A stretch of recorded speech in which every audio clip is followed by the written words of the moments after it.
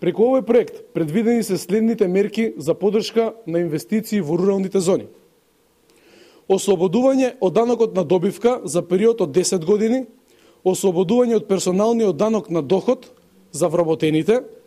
за период од 10 години, ослободување од плаќање на социјални придонеси во висина од 50% за период од 10 години, ослободување од надомес за уредување на градежно земјиште, финансиска помош при изградба на нов објект во износ од 20% од вредноста на инвестициите,